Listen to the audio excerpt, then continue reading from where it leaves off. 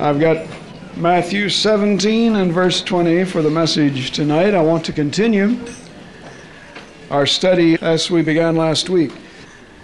And I trust that you understood and appreciated that revelation and vision and blessing that the sister shared with us concerning how that we need to be in prayer for one another and for the ministry because people are still departing from the faith, even since last week, friends. Even since last week. I don't say trials are easy, I'm just telling you the way it is. And not only here, but in other places. I guess you read the article in the paper. I don't read the paper, someone sent this to me. About this individual who was traveling about the country for, I guess, a couple of years, speaking against the gays. And now she has turned back from that strong opposition. I don't say she should have been out there doing that. That isn't the point. Just telling you what she did do about the gays teaching in the schools and all. And a nationwide campaign. Now, the report is at least she has backed off of that in saying, now my philosophy or belief is live and let live. Well, you can read it for yourself, but people are drawing back, is what I'm saying, all over, just as well as they are here. So I want to continue what we were dealing with last time. I've basically dealt with the admonition to the ministers, that is, the word ministers, and I want tonight now to bring the admonition to the whole body ministry, or the ministers of the body, which is everyone. I trust you already know that there is such a book around here somewhere, pink cover, entitled Charismatic Body Ministry. If you haven't read that, you should because the author points out how that God is restoring in this end time the ministry of the whole body. So we're addressing ourselves to the whole body tonight because you see, you can draw back from the faith just like some of the ministers are doing. We encourage you not to do that. We encourage you to listen like this admonition we just got from this sister. I mean, did you really heed that, or were you so busy listening to the next prophecy or whatever that came? I said last week, I'm heeding what the Spirit says to the church. And when people fall away, it just drives me closer to the Word, closer to the Lord. It increases my determination that it doesn't happen to me. And it also increases and rekindles the fear of God in my heart. These are end times. This is serious what's happening. You've got to keep the faith. Of all places, here we must keep the faith at all costs. And it's the revelation given to her related if the enemy, the wolf, can get to the shepherds, we understand under shepherds, don't we? The shepherds then he'll have free license to do what he wants to the flock. So we need to take seriously what's happening. He's really striking out at ministers. These bodily afflictions, like, you know, one brother has been going through for months. Look what the devil was trying to do to wreck his faith in the divine healing message and shake some of you people, your faith. And then we've had ministers departing from the faith for one reason or another. And it's happened since last message last week again. These are serious times. You better gird up the loins of your mind and decide whether or not you want to go all the way with God now. Count the cost while you have time because it's costly. The rewards are great. But the enemy is working overtime in this end time and working in ways you don't even know just to make a point and then I'll drop it. You don't know what I've been going through physically for a long time. But you see, God is sufficient, and His Word is true. That's all I need to say. If some suspect something, then all right. But there's no problem. I don't mean that because I practice what I preach. There are things that go on in the realm of word ministry that some of you know nothing about because in practicing what we preach, we don't come and say, hey, sympathize with me. There were only $10 in the offering last week. Or something's wrong with my back. Or whatever. I'm just saying that the enemy is working overtime against the word ministers. So pray for us as we pray for you. You've got to keep the faith. Well, somebody's going to keep it, and by the grace of God, I'm going to keep it.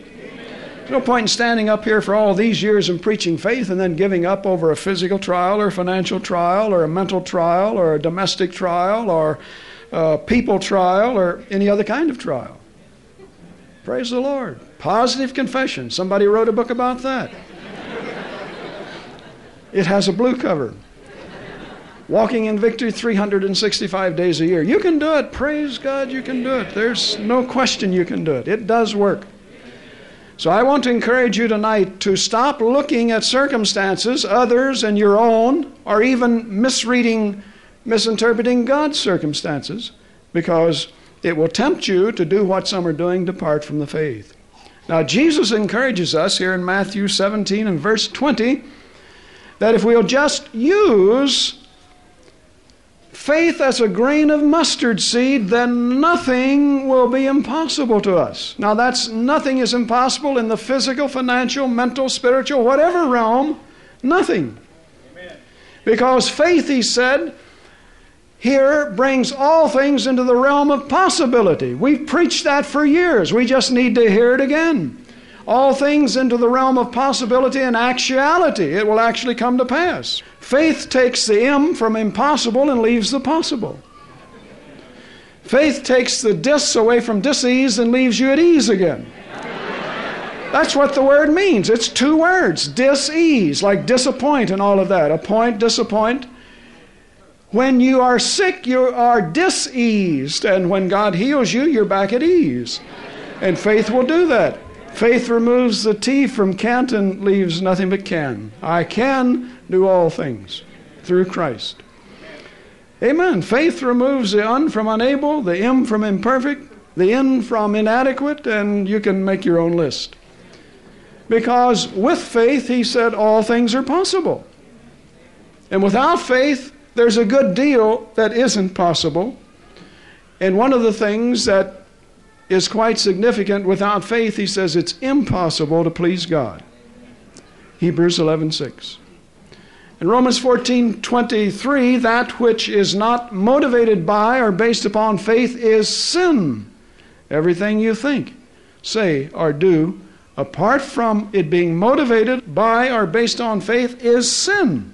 That means when you begin to doubt, it's sin. I mean, settle the matter you just might as well settle it now at the beginning of the message. Is that when you begin to doubt, as some do, if Mark 11 24 is really going to work for you, you've waited five years, five months, seven years, whatever. When you begin to question the validity of any promise of God, any promise of God, when you begin to move away from the promises back to the pills, when you begin to question whether or not that loved ones you claimed is ever going to be saved or delivered. They're getting worse. Just settle it. You're sinning. You are sinning, and sin displeases God.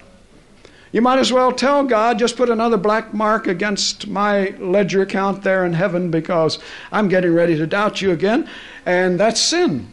I'd rather choose to believe my feelings, the circumstances, what the devil is saying, than your word, your clear word. Oh, I know to doubt displeases you and it's sin, Lord, but I'm just tired waiting. It's been seven months, seven years. And I'm going to take the easy route. I'm going to draw back a little, like some are doing. I'll take the easy way. You might as well say all of that because that's what he's saying about it. You better believe it. At the throne of heaven, he's saying, Put down another black mark. He's doubting me. He's sinning. Because when you begin to question any promise of God, any promise of God, you are as guilty of fulfilling 1 Timothy 4:1, which we know by heart, as any other person who sits under the word for years, like some have, and then rejects the word and departs from the faith. 1 Timothy 4:1, what is it? For the Spirit speaks expressly that in the latter times some shall depart from the faith. Why? They give heed to seducing spirits and the doctrines of demons. You bring yourself just one step closer to the permanent fulfillment of that prediction in your life every time you begin to doubt God because you are departing from the faith just that much. I'll repeat that. That brings you, whenever you doubt God, one step closer to fulfilling that prophecy that you will totally depart from the faith, fulfilling it in your life in a permanent way, as some are doing. You see, they all start somewhere doubting this, questioning that, raising questions in their mind. They don't always articulate them. Sometimes they stand in the pulpit and keep preaching faith and they're doubting in their heart. You're just coming one step closer to departing from the faith completely. Because every time you doubt God, take the matter of healing, you claim a promise of healing, it isn't manifested soon enough for you, whatever it is, taking your glasses off so you can get the restriction removed from your license, all the way to whatever the sickness is. When you open the door in the midst of the pain or the trial or whatever to doubt, then you are guilty of departing from the faith. That's 1 Timothy 4 1. He said in the last days they'll do it. They're doing it here. When you doubt that God will judge you or chasten, if you want both aspects of it, if you begin to doubt that God will really press down the screws on you if you fall into that fornication with your girlfriend or vice versa, or you begin to criticize, or you hold resentment, or you cheat a little on your income tax, when you begin to doubt that He'll do what He says, you're departing from the faith. Because He said, Here's what I'll do if you don't walk the straight and narrow. And when a parent, our parents, do not deal with their children the way they should, that is, do not obey the Word of God and discipline them when they need it, when they begin to allow themselves to become rather permissive about certain habits and practices that the children are picking up at school or out in the world with their playmates, when they begin to let them have their own way, they are departing from the faith at that point because that's what the Word of God says that you are to do, you know, and then you don't do that. And we could just go on and on and multiply examples. What I'm saying is, whenever you doubt what God has said, and if you disobey Him, you're doubting it, or you wouldn't do it. Then you are departing from the faith at that point, and you're coming one step closer to a permanent fulfillment of 1 Timothy 4 1 in your life. Because it's being fulfilled all over the world in the lives of professing Christians. They are departing from the faith. Not always from a religion, but from the faith, what the Bible says to do or not to do. And it's true of a minister. If he can't trust God for his finances, then he's departing from the faith at that point because nothing is more clearly taught in the Word of God than that God will meet your material needs, and that's addressed first to ministers who are to be examples to others. Read to whom he's speaking there in Matthew 6. He's speaking, first of all, to those who are ministering the Word. And so we could just go on and on. I heard a broadcast not too long ago where the minister came on the air. Was on one of those religious programs. He came on with Philippians 4:19. Praise the Lord. You know, that was so unusual. My God will supply all of your needs according to his riches and glory. And then, praise the Lord, he said, You see, the children of God don't have to beg for their finances or needs. Praise the Lord. On the radio, I heard this. It wasn't my program either. He says the children of God don't have to beg for their needs, and he went on and closed with about five minutes of begging for his needs. You have to, you know, tape it and play it back to believe that you're hearing what you're hearing. Faith is just a stereotype term to most ministers anymore. It has no biblical meaning at all to most of them. It's like this phrase, born again, that every Tom, Dick, and Harry is using today. And they don't know anything about born again because their lives are not changed.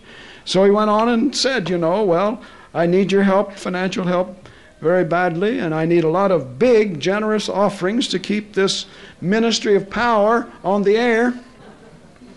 And you do what the Lord tells you about sending in an offering, but be sure and send it. in other words, do what God says. If He says no, send it anyways, what He was saying. He closed with all you need is have faith in God. I mean, they don't even know what they're saying. Have faith in God. Contradicted himself twice. Quoting Philippians 4:19, have faith in God, that's all you need, and then spend five minutes begging for finances. Well, what I'm saying is, ministers are departing from the faith at that point when they can't trust God for their finances. And so, whether it's finances or healing or the salvation of a loved one or whatever, when you disbelieve whatever God has said and you begin to question that, then you're departing from the faith. And that's what we want to see first of all, because ministers, some of them who embraced the faith message through the seminars, through the literature, were introduced to the faith message that way, are through the tapes going out, the automatic list, and whatever. Some now are departing from the faith. I received a letter, I think I mentioned last week, from a person who follows the faith message and said some of the ministers around here are going soft on the faith message, and now what they're doing they are accusing people like yourself who preach an uncompromising word as lacking in love. You know, because they're going soft on the message. And the reason they're going soft is because of its cost. And so, thank God for people who can recognize that those men are compromising the message and generally, when they write, they express how that they're blessed by the strong, uncompromising word that comes out of Faith Assembly, and how that it's enabled them to stand fast in these end times. I mean, sometimes from raising the dead to you name it, not going bankrupt. This does happen because of a strong message and uncompromising word. Well, I want to say that God is going to judge these people not only for departing from the faith themselves, but for also criticizing those who love God enough that they will not compromise His word. And he's going to judge them for trying to get others to follow their example because no man ever stands in the pulpit and just gives his testimony, you know, gives his opinion. Well, you can believe it or not. It's Sunday again. Here's 30 minutes of what I think about this passage. No, he's trying to get people to follow him or he wouldn't be up there. So God's going to charge those ministers who depart from the faith, and that's what some are doing, and charging others who won't compromise the word with a lack of love. He's going to charge them not only for departing, but trying to get others to depart. Well, it isn't only ministers who are trying to get others to depart. A brother came up here not too long ago and shared with me. He said a man that used to sit under this ministry to some extent, I don't know how much, but I've seen him a number of times sitting out there in the congregation while we were over in the other building, he said he came to me some time ago. I was in debt. And he said, I want to get you out of debt. I want to pay all of your bills. You know, just pay them off. He said, But I want you to do two little things for me. And one is put your glasses back on and admit you've been wrong about this divine healing business. And secondly, stop attending Faith Assembly, and I'll pay all of your bills off. There he is trying to buy somebody's faith.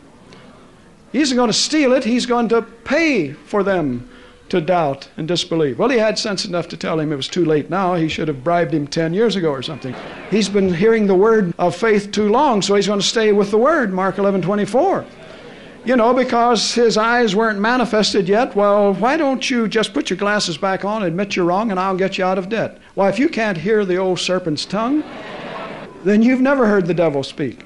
And so, this Job's friend, you see, is not only guilty of departing from the faith himself, but he is so far removed from faith that he's opposing it and trying to pay others to give it up. When I heard that, I was reminded of Matthew 18 and verse 6, where Jesus is dealing with causing little ones to stumble who believe in him.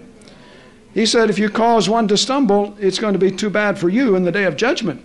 But you see, we're all his children, so the principle will apply to anybody that tries to rob us of the faith or tries to get us to stumble. He says in Matthew 18 and verse 6 For whosoever shall offend one of these little ones, one of the children, and we're his children, which believe in me, if they offend one who believes in me, it were better for him that a millstone would be hanged about his neck and that he were drowned in the depths of the sea. Now, that's a warning to anybody here. Anybody hears the tapes. It's bad enough when you depart from the faith. It's bad enough. But when you try to justify why you won't pay the cost, and try to get the children who believe in him, try to get them to stumble and depart from the faith and go back to that dog's vomit of unbelief and doubt.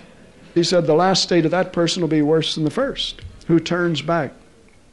And so the Holy Spirit wants you to know, dear friends, that this message that God has given us in this end time, this message we stress and emphasize and preach week after week in some form or another, is to be taken seriously because it is serious with God.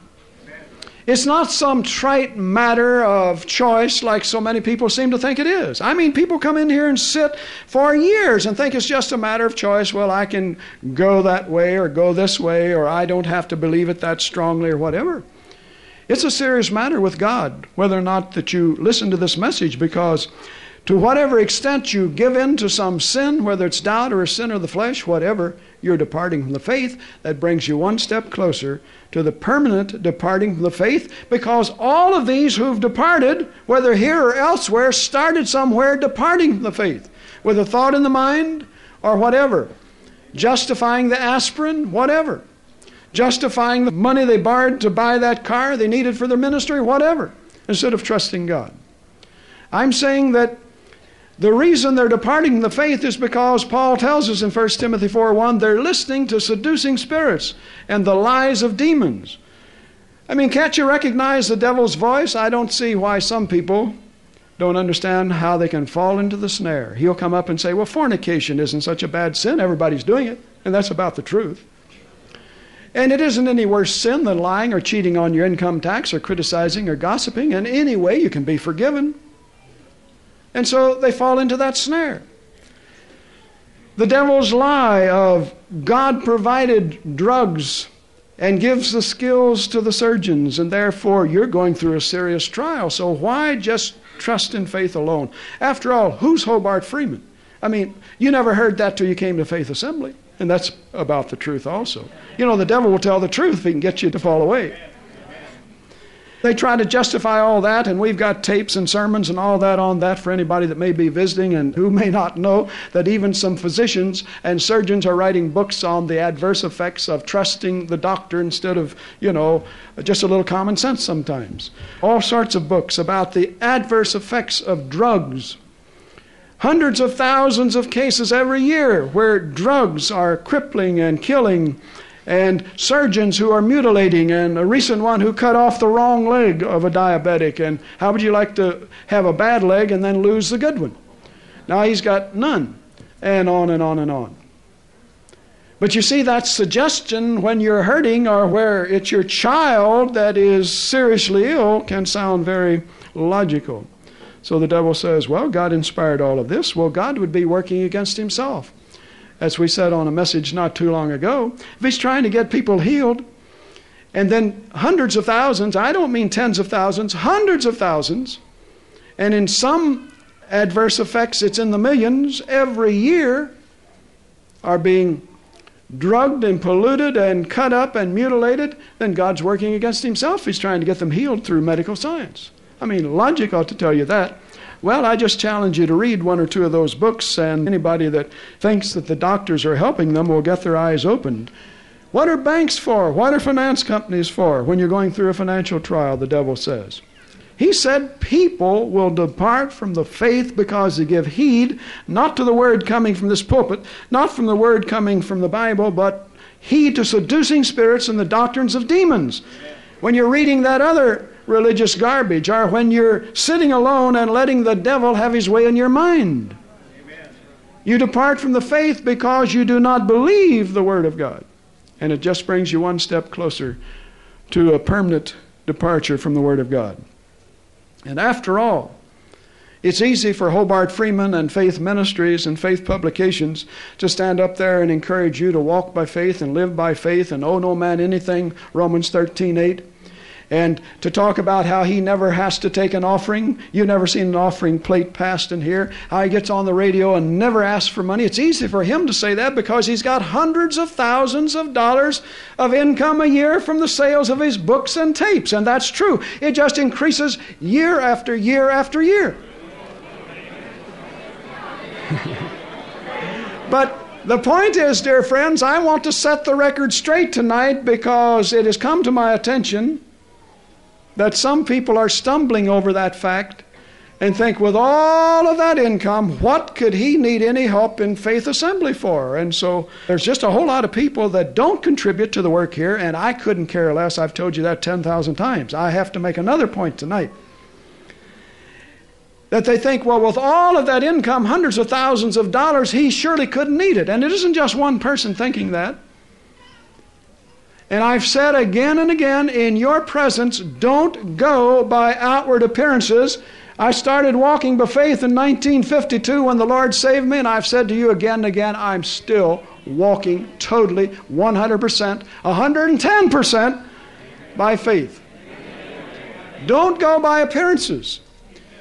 The reason that some people are stumbling and not doing what they should, and I don't mean give offerings, I mean they're not trusting God for their finances because they say, well, it's easy for him to say that, but all I've got's my job. I'm on a fixed income, so much a week. And yet, every time he sells a book or tape, that's a potential sale of another dozen, and that's true.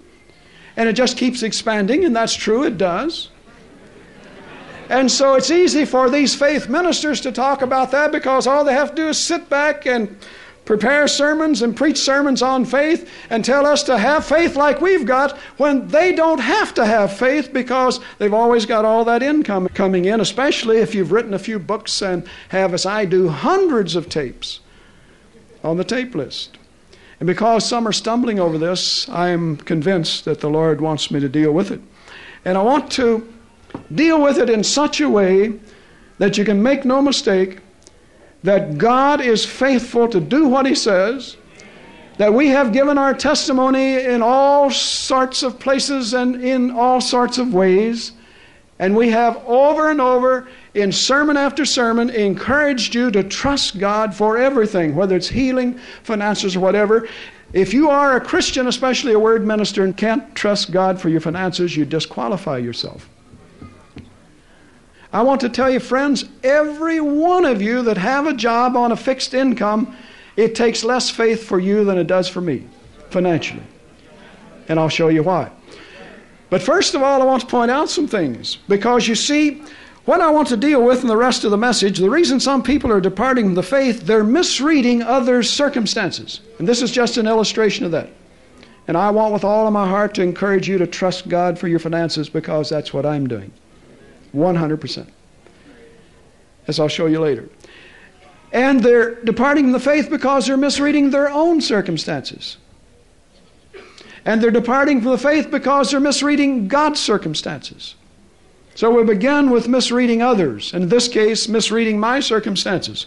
But first of all, I want to say the reason that I preach the abundant life in this church is because the Bible teaches it. I preach it because the Bible promises it. I teach it because it's taught in the Word of God if you meet the conditions.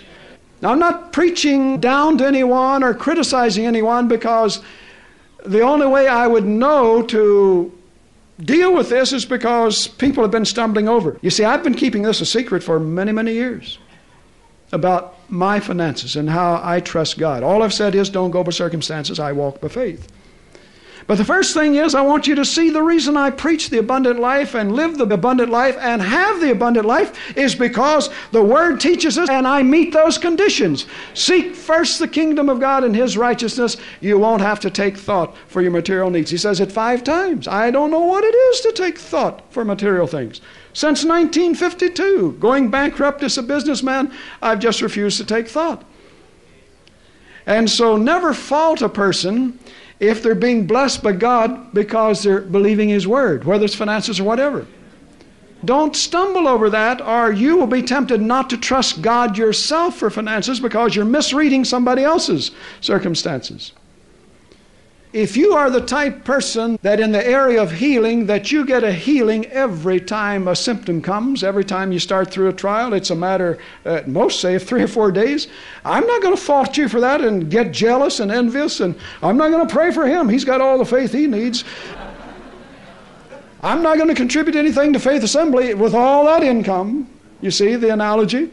No, I'm going to rejoice with you if you've got that kind of faith for healing. And if I hear you're going through a trial and that you are a giant of faith in the area of healing, I'm still going to ask the Lord, touch that brother, heal that sister. See, I'm not going to rule you out because you don't need my help. You do need my help.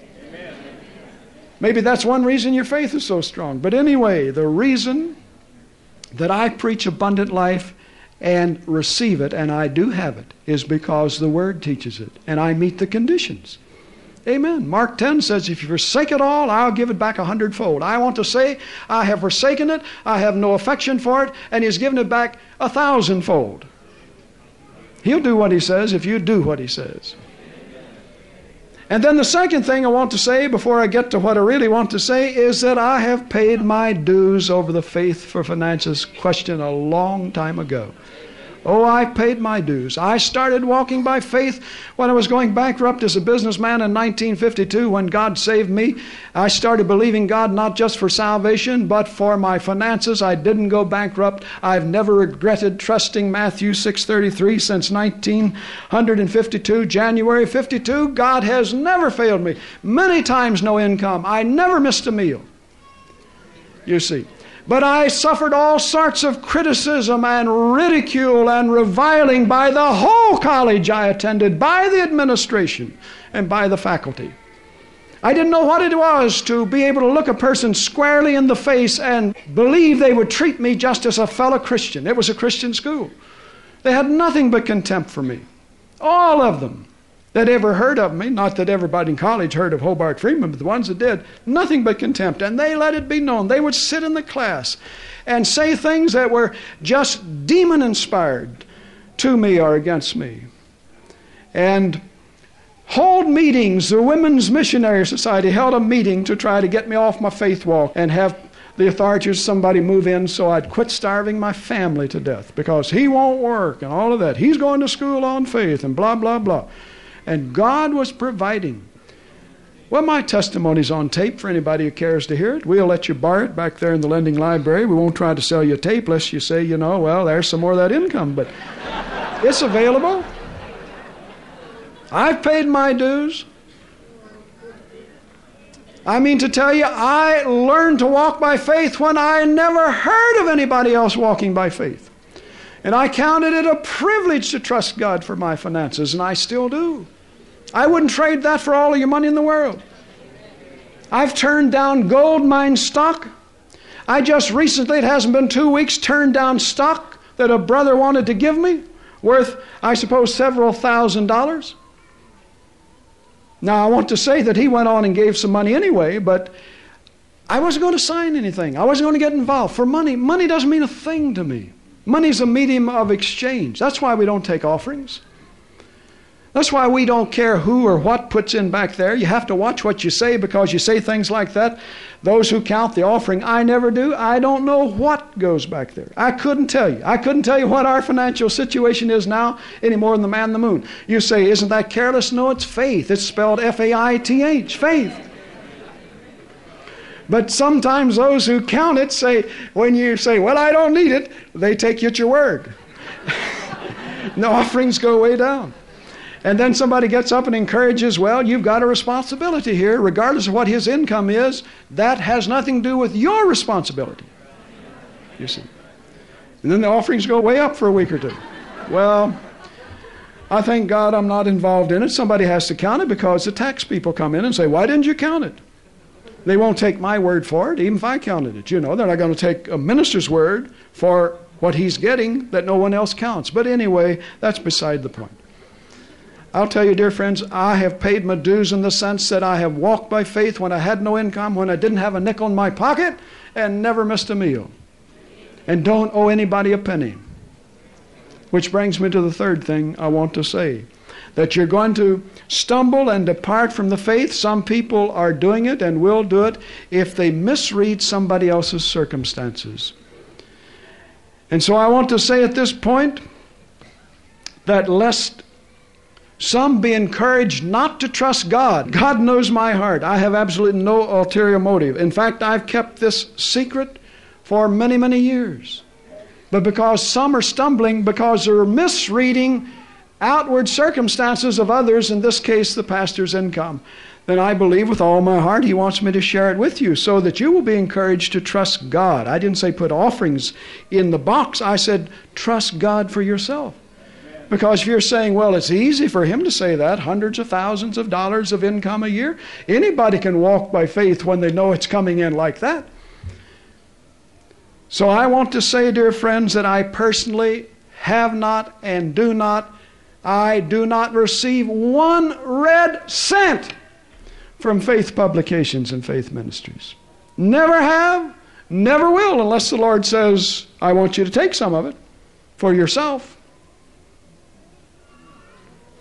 We live 100% by whatever you're laid on the heart to put in that box back there. Always have, always will. I count it a privilege to practice what I preach to you. All of that money that comes in, hundreds of thousands of dollars from sales of books and tapes, is the Lord's. It pays for, well, eighty to ninety thousand dollars worth of air conditioning in this building without any strings attached. I didn't say, Brother Nye, now sign a contract here that that much of this building's mine. No, it's the Lord's money. And it just, when there are needs like that, big needs, then it goes to that. For the radio programs, just one KXEL is $13,000 a year, and we're on six or seven stations and planning on going on more stations. That is, we're praying about it. This is to pay all the expenses of getting this word out. It costs quite a bit to run an office like that over there. Just one piece of equipment into the thousands of dollars. And you can go over there and look around and find quite a bit of equipment, besides the salaries, which are not, you know, minimum wage. That's the Lord's money. A long time ago, way back in Claypool, after I had written the little faith book, the Holy Spirit inspired it, so it wasn't mine to begin with. And the little Angels of Light book, which wasn't mine anyway because the Holy Spirit gave it. And I had maybe a couple of dozen tapes on a tape list. And we were so busy, I did it all myself. I didn't have any office. I made the tapes, duplicated the tapes, mailed the tapes, answered the orders, wrote books, preached. I did it all. And when income started to come in from those tapes and books, I sat down and I said, Lord, I've been privileged to trust you by faith alone for all these years. I've been a witness and testimony to others that it does work. Matthew 6:33 works if you don't take thought. And I said, I see what's happening, and some money around 12,000 or more got accumulated in the bank because you know that extra income. And i said lord it's yours. The 12000 went in the barn went out of the bank into the barn. I said i'm giving it to you and every penny from here on. I'm not going to commercialize the gospel. Now every other minister has to make these decisions for himself but that is my conviction so that I can say, like Paul said, Be ye examples of me. I have preached to you that faith works. Faith will work for finances quicker than anything else. The least amount of faith you've got, it'll work for your finances. I mean, if I had to worry about what God would do for me, the last thing I would ever think to worry about is how He would provide my needs. I've had people try to get me to worry. How are you going to make it when I had no income? I don't know. Haven't made it yet. Just trust the Lord, He'll provide.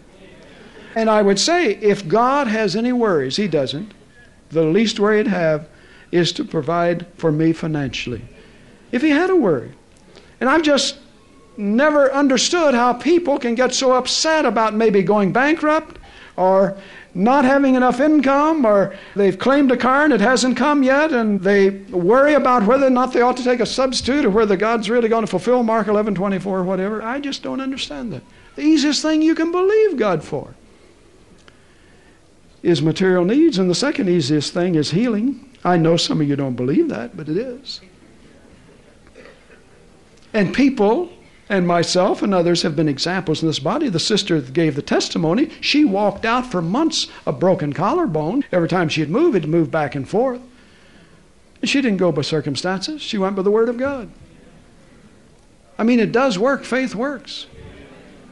So I said, Lord, I count it a privilege to trust you as I've been doing for my finances. Every bit of income from sales, books, and tapes and royalties, which run into a few thousand dollars a year on royalties on those books like that Moody prints of mine and others, Logos. I said, all of that's yours. Now, this is no glory to Hobart Freeman, but as Paul said, he would make tents with his hands. He would not take anything from anyone, lest some stumble and say, well, he's preaching for profit. Now, of course, the Bible says that he that preaches the gospel is to live by the gospel. And it says in more than one place, you have a responsibility to support those who are feeding you spiritual things with your carnal things, that is, your material goods. We know that's in the Bible. And we believe that if a person loves the Lord, that we'll have no concern about offerings and so forth. But we, from the beginning, live off of a box stuck in the back somewhere, not up here where you couldn't miss it. God provides abundantly. Whatever that will do to offerings, I couldn't care less, but God provides abundantly. But listen, that isn't the whole story. Out of those offerings come all the expenses of the church. We never ask you for money. Be ye followers of me in this. We never ask you for a penny. If we have a need, we let God know it's George Mueller. I mean, God has it. he's the one that has it, so He's the one that I want to talk to if I had a need, but I don't have a need.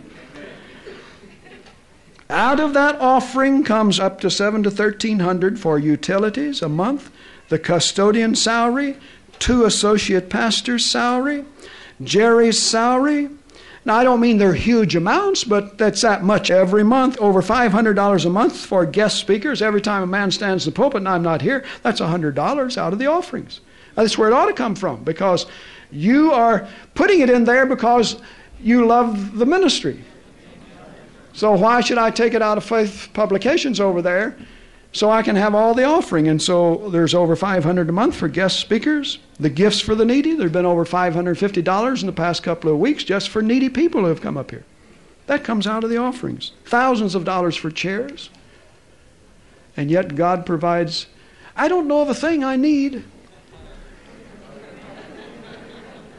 Praise the Lord. When there are big amounts like air conditioning and that sort of thing, faith publications and faith ministries can supply that. It's the Lord's money. This is His building, His church. There wasn't $80,000 in the offerings, you know, to buy air conditioning. Not any month that I can recall. I'm saying, dear friends, it works. Trust the Lord. I have given my testimony everywhere about trusting God for finances, but I've been keeping this back. And I can see now, now's the time to share that as we started in 1952, walking by faith, trusting the Lord to send it in any way He wants, occasionally some will come through the mail and say, This is for you. Well, praise God. I take them at their word. If they say use it to spread the gospel, I take them at their word and it goes, you know, into faith ministries or whatever. But the point is, dear friend, it works. Look what we took on. Look at the expense with the knives and all. This is a work of faith and a walk of faith from the beginning. Amen. So don't stumble over apparent circumstances of others. You can apply that in so many ways. We're trying to give you a principle here. We're not asking for your money. We're trying to encourage you to trust God. Now, I've said on more than one occasion, don't go by circumstances. I'm still walking by faith. But people don't really hear you say that, do they? They look at outward circumstances. Well, that's the Lord's. That's the Lord's. And He will provide as He's been providing, just as He has always done, through me just trusting Him, having the privilege. I count it such a joy and a privilege to be able to stand up here and say, it works. It does work. It's still working. I live the abundant life because I find it in the Word of God. But I live it by God sending it in in His own way and not by selling it. People are encouraged sometimes to depart from the faith because they're misreading other circumstances, in this case, the pastor's income. They thought it was in faith. How could it be faith with all of that money rolling in? But they also sometimes depart from the faith because they misread their own circumstances. For example, they'll pray about a matter, and because there's a delay, they will misinterpret that as denial. Remember, as we've said previously, delay does not mean denial. Or they'll pray about a matter, and because they have to go through a trial before the manifestation, The circumstances seem to look worse, you know, negative. And so they'll go by those circumstances, they'll misread what's happening. God allows the trial to mature their faith, but they give up their faith. Well, it's been seven years and still have a restriction on my license. Some people give up the faith just for that. Or, well, I hurt pretty bad, and I'll tell you, friends, I know what it is to hurt, and my heart goes out to people who are hurt. I know what it is to hurt in any part of your body. Name one part. But somewhere along the line, when the healing doesn't come, you have opened the door to doubt because you're misreading your circumstances. He isn't going to answer me. It's been three days or three weeks or whatever. You've been falling into the snare of misreading circumstances, in this case your own. Delay doesn't mean denial. When the delay is there, the delay simply means that God, in His great wisdom, has delayed the manifestation for some reason. Generally, it's just to check you out to see where your faith is, head or heart. And somewhere along the line, when you don't get the healing, when you don't get the new car, when the loved one doesn't come into salvation, somewhere along the line, you have opened the door to the spirit of doubt. I don't know where. Unless God shows me. I wouldn't know where a person who has to give up faith in God and run to the hospital, or run to the doctor, or run to the finance company, or go to the psychiatrist. I don't know where they open the door, but they open the door. They're departing from the faith at some point. And as I say, I can sympathize with the people after they've made the mistake, and I do. I've said that before, and the people who have fallen away or missed God or departed from the faith at whatever point or however much they know that they don't get criticized in the hospital. They don't get criticized on the bed of affliction. They don't get criticized when I meet them coming out of the bank after their testimony. I'm going to trust God. He'll provide some way and whatever. But I have to preach the uncompromising message so that you don't make that mistake. You don't open that door. You don't misread your circumstances. You can't rationalize, well, if you just knew how much pain I had, because somewhere you opened a door that said, God isn't big enough to remove this pain. Somewhere you had to open that. You can't die believing. You can only die doubting. And if you get the whole story, you find somebody's confessing the negative. Whatever. You'll find it there. When, when, when will everyone that occupies these chairs that we provide for you by faith, when are you all, all of you, going to start believing what we preach from the Word of God? It's so clear a baby can understand it that you're going to have the trials. You're going to be tempted to give up. You're going to be tested and tempted to depart from the faith at some point. But remember, that brings you one step closer to departing permanently. Oh, not from religion, just from the faith, which is the thing you're going to need in this end time. Because when you depart from the faith, there's nothing God can do for you. God can forgive any sin. But he can't do a thing with doubt and unbelief except judge it. When will you learn? All he can do is judge it, and sometimes it's let you go on and have your operation or go bankrupt or whatever because you've opened a door. God can't do anything with unbelief. We've been faithful to preach that to you. That's the sin Jesus came to die for, our unbelief. And people think because they confess John 3:16, that's all there is about unbelief. I'm saved. That's only the beginning of a walk of faith. Get your eyes off the circumstances or you'll start confessing them and depart from the faith. Keep your eyes on the Word of God. Whether it's finances, just a meal. You may need a meal, like one brother said after he heard a message on faith. He said it does work. He said, I didn't have a bit of food, no money, so I just claimed that I'd have breakfast. He said, I claimed bacon and eggs. I'm telling you, don't watch your circumstances.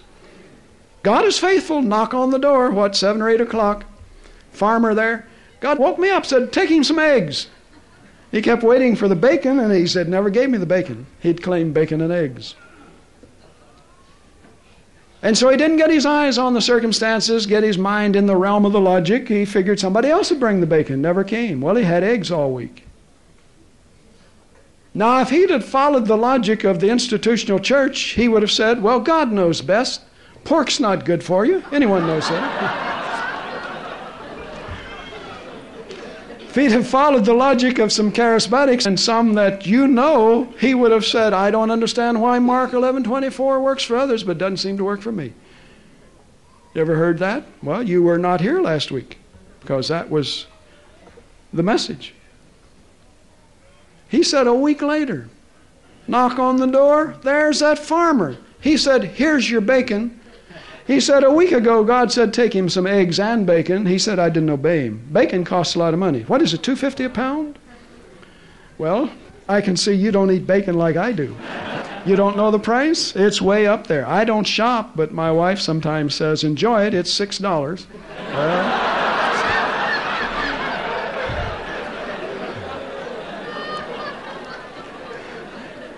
Well, praise the Lord.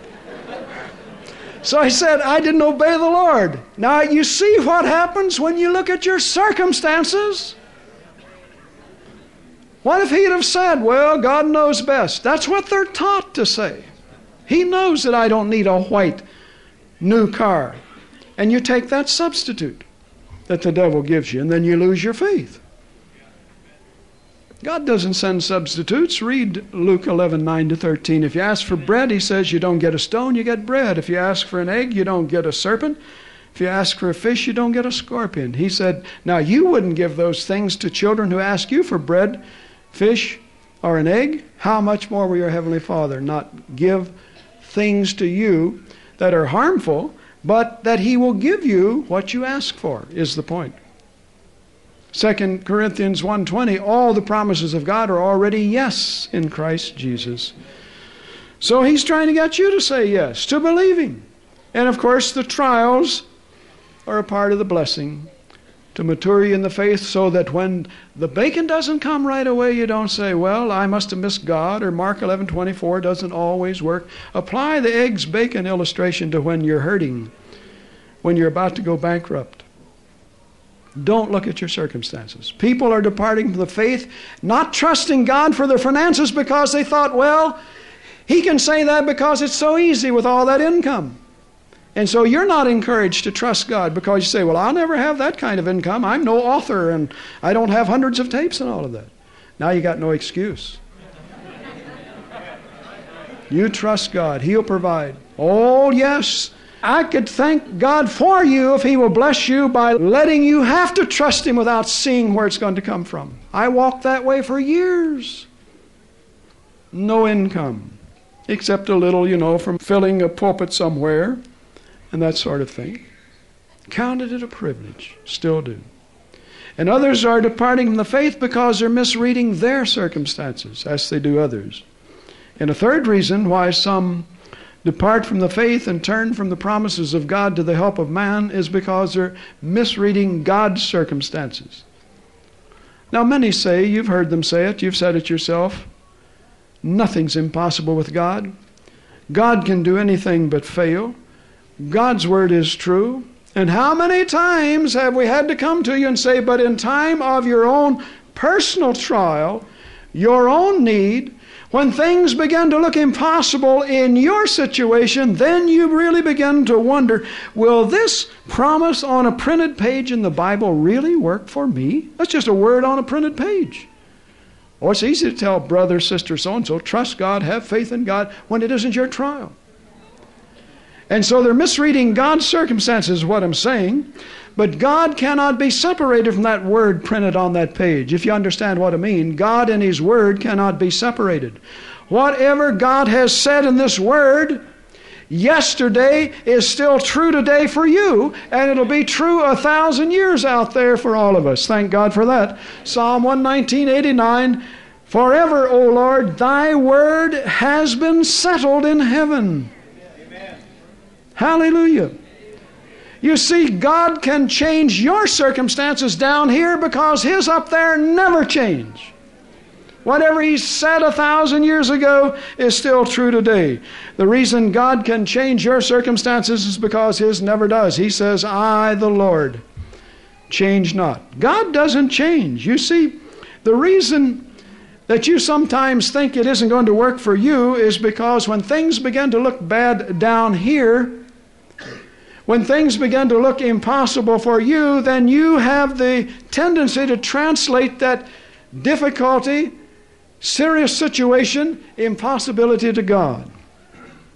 The harder it looks to you, the more impossible you think it's going to be for Him to work it out. If it's severe pain, terminal illness, threat of bankruptcy, wife leaves, husband runs off, children are getting worse, you just name the problem. Oh, that's so big. Oh, I don't know. It's so hard for me to solve. I can't even think of a way that I could solve it. It's impossible. You translate that to God and you forget Nothing changes in heaven because that is a terminal illness down here. Nothing changes in heaven because your child is sick and seems to be getting worse. Nothing is changed in heaven simply because there's a threat of bankruptcy down here. Nothing is changed in heaven because the devil has invented new ways to oppose the truth. Nothing ever changes in heaven. God does not change. His word does not change. His nature does not change. Just because nations are increasingly declaring war on earth, God does not change. His nature does not change. His word doesn't change because a ship sinks or a plane crashes out of the sky or because this whole world is finding new ways to rebel and sin and rebel against God. God doesn't change. But you tend to translate what's happening down here to him up there, and so it must be impossible. That's what you're saying. And I'd like for you to turn in conclusion tonight to Psalm chapter 2 because I would like to encourage your heart from what is said there concerning what's happening down here on earth. Psalm chapter 2. People think, you know, that what happens down here changes God and His character and His word and gets Him all concerned. Why do the heathen rage, the nations rage, and the people imagine a vain thing? The kings of the earth set themselves, and the rulers take counsel together against the Lord and against His anointed, Christ, saying, Look what they say, let us break their bands asunder and cast away their cords or their restraints from us. Now, when God listens to all that, and this is certainly an end time picture of what's happening increasingly, does God begin to quake with fear? Does God have to call a special assembly of the angels and His Son and say, What are we going to do? When God looks at your serious illness threat of bankruptcy or the fact you've had no income for six weeks, does he have to call a council and say, What are we going to do? No, I'll tell you why he doesn't. Verse 4 He that sits enthroned in the heavens shall laugh. When the nations rage and rebel and say, Let's throw off all of his laws and restraints, he that sits in the heavens, when he hears that, shall laugh. The Lord shall have them in derision, hold them in contempt. Then he shall speak in his wrath and vex him in his sore displeasure. Now that's the God I have faith in. Verse 4 in an unchanging, eternal, sovereign, unmoved God who isn't shaken by every wind that rages down here on earth, who isn't worried and upset about how He's going to heal you because your illness is serious and getting worse, who isn't worried about what he's going to do now that the whole world seems to be opposing the faith message in this end time and coming against the word ministry. A God who isn't shaken because you're about to go bankrupt, you have no money. The reason that He can change our circumstances for the better is because His never change. And the reason they don't is because God and His Word are based upon what he said. That is to say, his word cannot change. Psalm 119, verse 89. In the next verse, verse 90 says, His faithfulness endures to all generations. So the reason He can change our circumstances for the better is because His never do. His word does not change. His faithfulness does not change. What He said is based upon His unchanging word, upon His faithfulness. Conversation reportedly was overheard in the woods some time ago. If you'd been there, you'd have heard this conversation. The robin said to the sparrow, He said, There's one thing I'd like to know. Why it is that these Christians rush about, doubt, and worry so. Said the sparrow to the robin, I've been thinking on this myself of late. I'm sure they're no longer Christians, but have departed from the faith. Amen. Sparrows, bluebirds, robins have considerable sense because Jesus said they trust the Heavenly Father to provide. And how much better are you than many sparrows? If he could just get his people to believe him to believe his ministers who exhort, plead with you to believe him. When you have that trial next week, next month, whatever, recall some of these things you've heard. Get the tape recorder out and play those faith tapes over and over and over. If they will heal people who've never heard the message before, they'll heal you. There are cases, and we've told you of some of them, where one woman with terminal cancer, the doctors had given up, listened to a tape somebody shared with her from Faith Assembly on faith. Got up and was testifying in a meeting where I was speaking. She said, I played that over and over, finally wore it out. I'd played it at least a hundred times. When she wore the tape out, the cancer had been worn out of her body. Some people listen 30, 40 times to a tape until they can glean all there is on the tape. Now, you know, be honest with yourself. If you've heard it once here tonight, what do I need a tape for? Well, I don't know. You'll have to answer that. They didn't have tape recorders in Jesus' day, that's right, but they had good memories. They were trained. They could recite their genealogy all the way back to Adam. So when you can do that, then hearing it once is enough. I'm not so sure it's enough because he wrote four Gospels which all say essentially the same thing. Just approach it like we do from different angles. Trust God. It does work. Amen. Hallelujah. Stand with us. Hallelujah. Praise the Lord. Father, we know that it is faith that will give us the victory which is going to overcome this world and bring us into the place of overcomers. Holiness, righteousness, truth, peace in our hearts, love of one another, all are important. They're all taught in your word. But you've said without faith. You didn't say without love, or peace, or holiness, or righteousness. But you said without faith, we cannot please you. Of course, we know we can't please you without these other things, but you chose faith to say that if we don't believe you, then we'll really not have the other things. My prayer is you'll impress upon all those who have ears to hear that they give heed to what you're saying in these last days. Lord, we have warned, we have taught, we've preached, we've exhorted that these things would come to pass, that we're beginning to experience more and more. My prayer is, Father, that will be so impressed by the shortness of the time, the seriousness of faith, that we will draw so close to you that nothing can separate us from the love of God in Christ Jesus.